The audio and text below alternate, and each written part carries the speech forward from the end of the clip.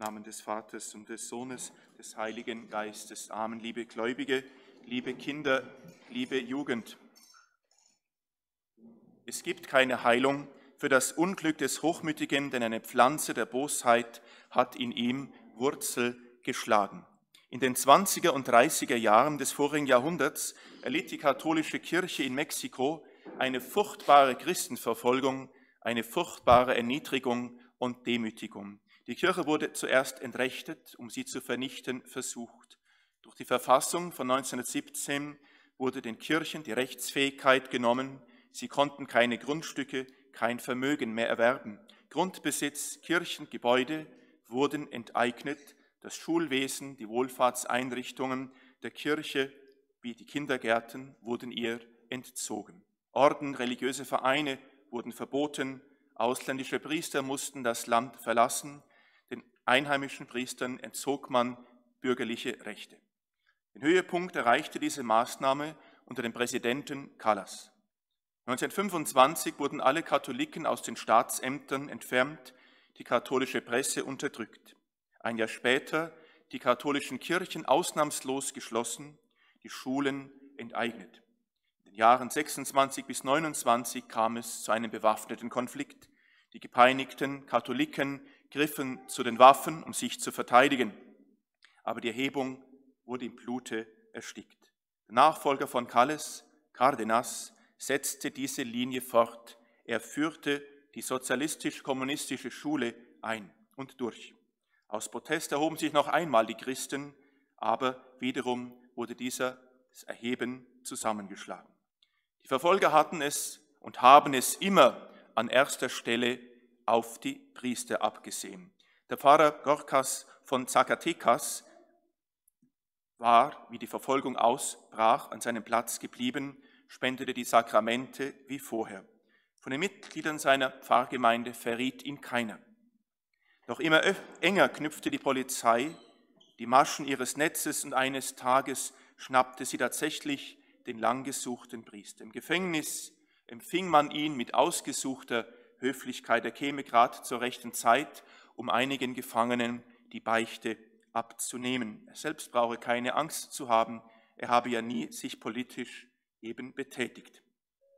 Gefängnis eben die Häftlinge, die um einen Priester gebeten haben. Pfarrer Gorkas Herz erfüllte sich mit priesterlicher Freude, hörte Beichte, ging von Zelle zu Zelle, spendete Trost und Hoffnung. Dann führte man ihn zurück ins Untersuchungszimmer, aber ganz anders als vorher schnauzte ihn der Offizier an. Sagen Sie mir sofort, was die Gefangenen gebeichtet haben. Es sind Hochverräter. Was haben Sie ihnen erzählt? Im ersten Augenblick fährt der Priester erschrocken zusammen, dann aber steigt ein helles Leuchten in seine Augen. Niemals, antwortete er mit priesterlicher Würde, niemals werden Sie das geringste Sterbenswörtchen erfahren. Meine Lippen hat Gott versiegelt, heilig werde ich dieses Siegel halten. Nun gut, dann werden sie erschossen. Bedenken Sie, es geht um Ihr Leben. Der Priester antwortet, da gibt es kein Bedenken, erschießen Sie mich. Und sie erschossen ihn. Ein anderer Held war Kaplan Reyes. Nach der Verhaftung sollte er das Versteck seines Pfarrers angeben. Reyes weigerte sich. Da hängte man ihn einen Meter über dem Erdboden, ohne Stützpunkte für die Füße in eine Säule, wo ihn tagsüber die glühende Sonne Mexikos des Nachts der kalte Bergwind quälte. Ohne Speise und Drang hielt der, junge Priester drei Tage und drei Nächte aus, gekreuzigt wie sein Meister. Am dritten Tag zog man ihm die Haut von den Füßen, übergoss ihn mit Benzin und zündete ihn an. Er hätte nur das Versteck des Pfarrers angeben müssen. Er tat es nicht. Lieber gab er sein Leben hin. Librado Ariolo war Pfarrer in Tamazula in Mexiko. Er wurde in den Kerker geschleppt, dort hackten ihm die Soldaten mit einer rostigen Hacke die Hände ab, damit er nicht mehr die Messe lesen könne. Der grässlich verstummelte Priester wurde noch infolge des Blutverlustes in ein Spital eingeliefert, wo er unter furchtbaren Schmerzen starb. Die Zeugen des Glaubens aus der Laienschaft standen den Priestern in Mexiko aber in nichts nach. Der Rechtsanwalt Flores González war der Führer der katholischen Jugendbewegung. Lange gesucht, wurde er endlich gefasst. Mit Daumen an einen Flaschenzug gebunden, zog man ihn hoch, ließ ihn wieder sinken. zwanzigmal, dreißigmal. Man trat den Körper des Ohnmächtigen, gab ihm schließlich den Gnadenschuss. Am anderen Tag standen Witwe und Kinder weinend vor dem Sarg des geliebten Vaters. Die Mutter hob das Kleinste noch einmal hoch, damit er den Vater sehen kann. Auf die Frage, was dem Vater zugestoßen sei, antwortete das Kind, der Vater hat das Jesuskind so lieb gehabt, deshalb haben ihn böse Menschen getötet. Mit Flores González starben den Heldentod für Christus zwei Brüder Vargas mit Namen. Der eine war ein Student der Medizin, der andere Elektrotechniker. Ein dritter Bruder entkam. Als die Nachbarn dem Vater ihre Teilnahme ausdrückten, erwiderte der alte Mann mit christlichem Stolz, Beileid, gratuliert mir lieber. Die Mutter aber sagte zum dritten Sohn, der entkommen war, Junge, du hattest die Krone schon in der Hand, warum hast du sie fallen lassen? Den beiden Vargas schließen sich die beiden Brüder Huerta an, Schauspieler der eine, Mechaniker der andere. Sie wollten ihre beiden geistlichen Brüder nicht verraten, deshalb folterte man sie mitten in der Nacht auf dem Friedhof. Die beiden ließen sich nicht mürbe machen. Während der Quälereien bat der Ältere um ein Licht, beleuchtete seine Brust und rief, hier ist das Herz, das bereit ist, für Gott zu sterben. Im selben Augenblick krachte die Salbe, beide Männer fielen, der eine hinterließ elf, der andere zehn Kinder erwähnten Helden sind bei lange nicht vollzählig. Bewundernswert aber auch das Bekenntnis der Jugendlichen. Sie hatten ja das Leben noch vor sich. Indem sie sich zur Religion bekannten, verdarben sie sich alle Zukunftschancen. In León, einer großen mexikanischen Stadt, wurden am 3. Januar Mitglieder der katholischen Jugendvereinigung ergriffen, grausam getötet, weil sie tapfer für die Rechte der Kirche eingetreten waren. Alle empfingen am Tag des Martyriums die heilige Kommunion. Der erste fastete den ganzen vorgehenden Tag. Seine Frau, die ihm weinenden kleinen Sohn zeigte, erklärte er, wenn ich zehn Söhne gehabt hätte, ich ließe sie alle für Gott.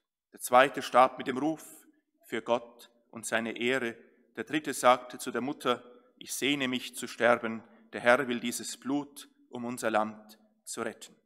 Als seine Eltern ihn tot sahen, sagten sie, Kind, bitte für deine Eltern und deine Brüder, auf dass sie dein Beispiel nachahmen können.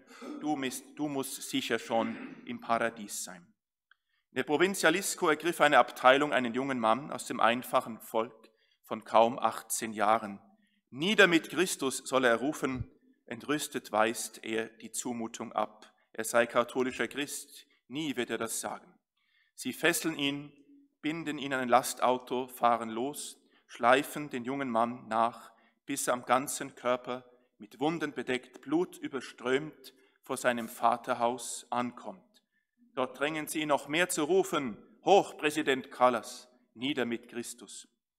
Aber der junge Mann entgegnet immer wieder, ich bin katholischer Christ, ich lobe und preise Christus.